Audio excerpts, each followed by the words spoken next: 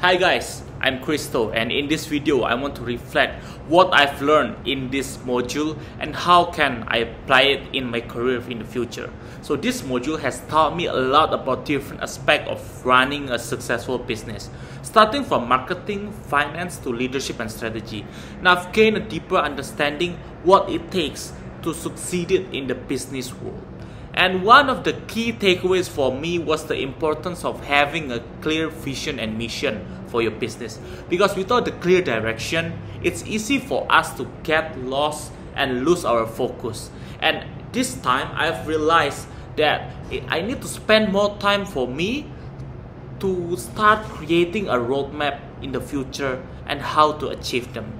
And just like a Proverbs, there's no beautiful rose without thorn, as well as my story while undergoing this module.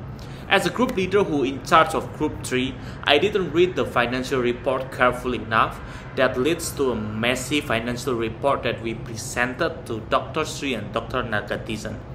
On the other side, I felt quite succeeded when I could brought together my group mates who had never met before and now we're becoming best friends. And with this kind of closeness, we didn't feel stressed at all during the preparation of the group business report. However, we just feel like hanging out each other with our friends. And the biggest challenge for me in this module is to unite a very diverse group. Our group is different compared to the other group because our group coming from Malaysian, Vietnamese, Chinese and Indonesians.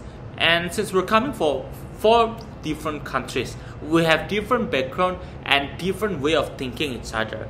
But this is becoming interesting once we are in the same frequency and we got to become best friends. Since that moment, we are very compact and unite. Overall, this module been valuable experience for me.